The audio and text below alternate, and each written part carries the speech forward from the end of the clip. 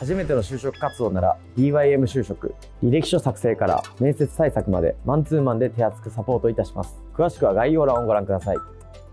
どうですか？セブンの生活はどうですかセブンの生活はもう結構どん底でございます。あどん底？はい。ちょっとまあそういう動物の死骸みたいなのがもう多かったのがありますし僕の家がすごい断水が多い家で半分ぐらい使い仕事が辛かったっていうこと？そう仕事も辛くてインフラも言ったら1日15時間とか働いたらうん。もうセブ島もクソもないじゃないですか。時給換算すると480円ぐらいして。うわ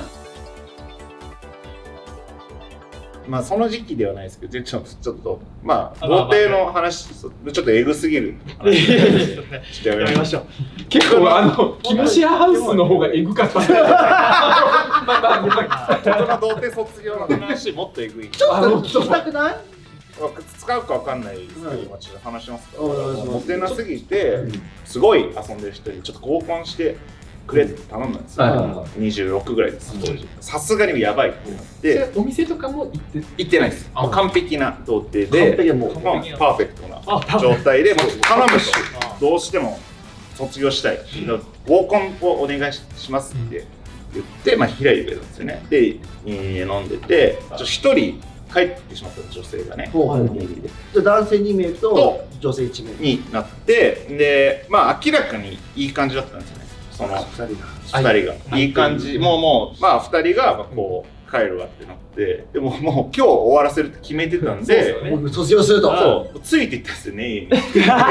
そのままついていって何も言わずついていってで家行ったけど始められないんですよ僕は。何すればいいか分かんないからあーそうまあいい感じではもうは3人でっていうのはもう暗黙の了解いやなってないです全く。なってないし俺がもうずっと変だから 味そ空気にならない。もうこっちもビンビンになっちゃって。ビンビンにはなってないです。ただもうパニック状態。どうすればいいか分かんない。そう。だから一回そのタバコを吸いにねはい。で出てたんですよ。うん。1本じゃちょっと始まんないなと思ったんで5本吸って 結構尺稼いだな。さすがにもう始まってんだろうな。始まってんだろうと思ってこう開けてみたら始まってたんで何やってんだよって入っていったんですよね。もうここをもう行くしかない。行くしかないと。うんでも入ったところで自分から触りに行くとかできないんですよ。わかん童貞すぎる。童貞だから。そう全くもう。え向こうは入ってきてももう気にせんとなんいやもうなんだよみたいな。一回止まって、はいはいはいはい。でも何やってんだよって言っただけで俺も、うん。その後もずっとこうですよ。できるから。固まっちゃってその後何も動けないし動けない。言えないし。そう。でずやってたらそいつがその「お前服脱げるうんお男の方が」ででそうさ触れみたいな感じで。だからそのエロいやつの感じでラジコンとしてここで動きながらどうどうだ？これがおっぱいの感触だ。みたいなやって。でそいつの指示がないと全く動けなかったんでそのどうすればいいかわからないからね。そいつのターンみたいになった時があったんですよ、はいはいはいはい。完全に仕事なくなったんですよだからもう自分から参加もできないからずっと指示待ち？指示待ち人間です。完全な。役割がないみたいな何をすればいいか分からない。そもそもでもよ、はい。その前的には、はい。自分がもう今日もう決めるぞ今日やるぞ今日やるぞって決めてるけどやっぱ動けないの。いざとなった場合は動けないじゃないですかしかも 3P みたいになってるしね。そうそうそう。で動けないちょっと待って、うん女の子はもう了解してる。まあ女の子はまあそういうそういう子というか。はいはい。あまああなるほどね。そういう子って何さそういう方いらっしゃるじゃないですか。いらっしゃる。でまあこのままだともうちょっと完全に忘れられて終わってしまうんじゃないかってことだけでも頭がいっぱいだったんですけどその男がすごい言葉攻めをするやつだったんですよ。はいは感じてんだろうとかいうタイプだったんでこれこれだと思って 感じてんだろうって言ったら感じてんのかって俺が言ってそのなんで復唱言葉で復唱してその参加してえ何何お前。そこギリギリもうなんとか参加してもう手は手は出せない。もう自分から触ることがもう絶対にできない。だからもうなんとか なんとかでも忘れられたくない。もう絶対今日決めてるから。ガヤじゃんそうガヤ。そう。だから復唱する形でなんとか俺もいますよっていう存在をもうちゃんとね中に入ってますよいます。私も忘れないでください。でもまあ触れない。もうもう怖いから。はいはいはいはい。っていうどうしたんですか？でも。でそれでなんとか参加してる感じを出してまあなんその後無事卒業という。どうでした感想は？いやだから なんだろうな。パニック。パニック。目的は果たした果たせたという達成感はありましたね。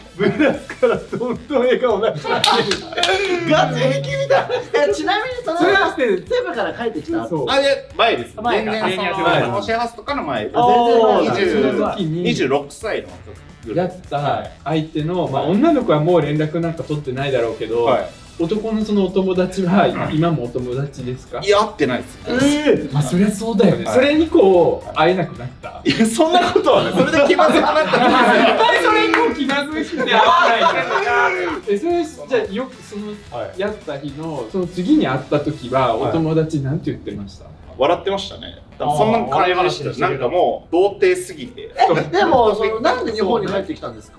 ああそのフィリピンなんですね。ちゃんと戻しますね。ちゃんと戻すな。まあそうね使えるように責任を取って広めたのは達也だ。ったからね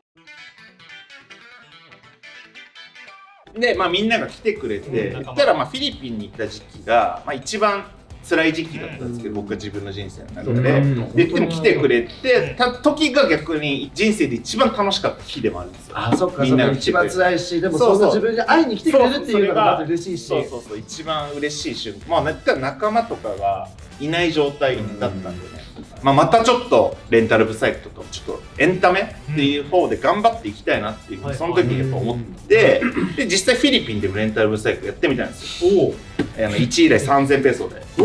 やってみたらまあちょっと依頼があって。フィリピンでも依頼あるなら、まあ、日本でもあるんじゃないかと思ってやっぱやれるだろうと思ってこれはもう帰ってレンタルブサイクルちょっと頑張っていこうっていう形で。原点に戻ったんだね。そうですね。いろいろ台本ではそうなんですお土産にもらった明太子に感動して帰ったって書いてます。めちゃめちゃいい話でしたけ全然いい話に変わってる。ど違うよ。あこれはこれこれこれはこれもあります。これもある。これもちろん。これまあ明太子持ってきてくれたんデでねィティこれすごいディティールな部分なんですよ。その明太子でめちゃくちゃ感動して。だって今から明太子に感動した話なんですよいやこれはこれであるんですよ。お土産の明太子。友達より明太子ですよ。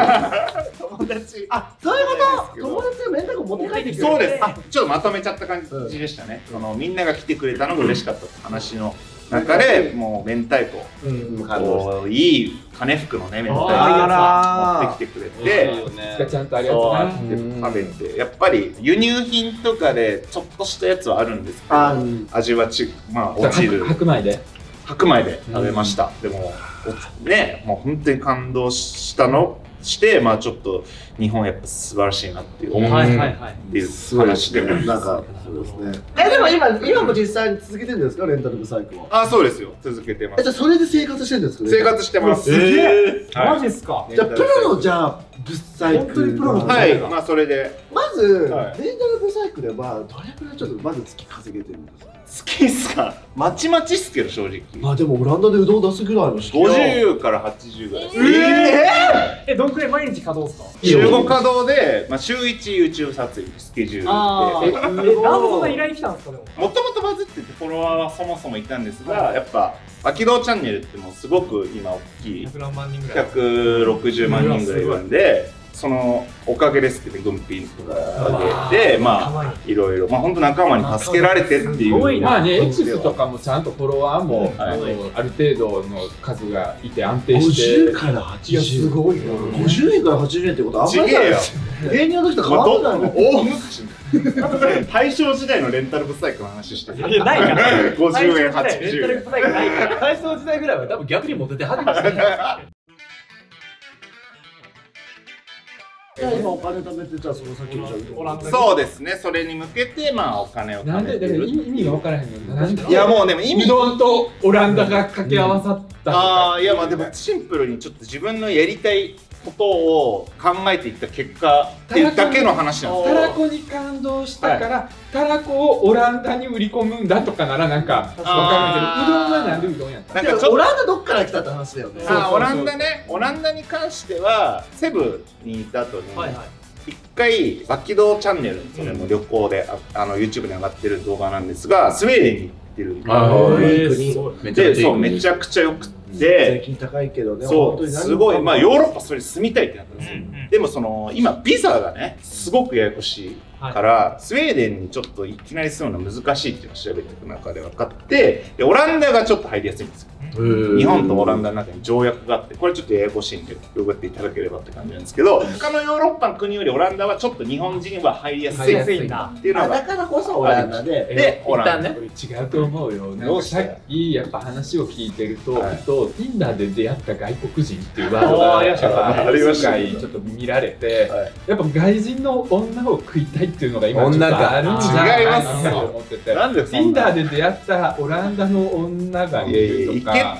いけるかそんなの。でどこにも当てはまらないって言ってたけどワンチャンオランダでは当てはまる可能性があるんじゃない。ないないでねやりましたよ実際オランダ。2週間前に行ってぶん回してきましたけど Tinder、もう全然会えなかったっすよ。びっくりした。もう2万円課金したもん。マジ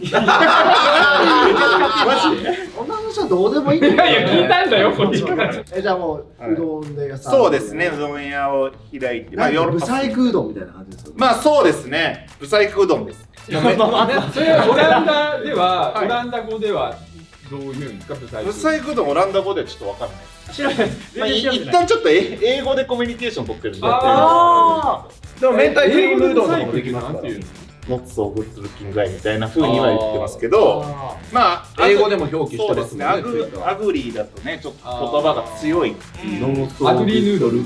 外交で。あーね確かに。そう。まあでも悪口みたいになっちゃいうそうどんを作るんであればもうちょっと清潔感は必要よね。まあまあまあまあ、まあ、 fucking face とかね fucking face noodle。fucking face noodle。ちょっと売れそうだなで飲食店に fuck って文字入ってる確かに確かにねということで。行きたいって感じですね。まあ頑張ってくださいオランダで。はい。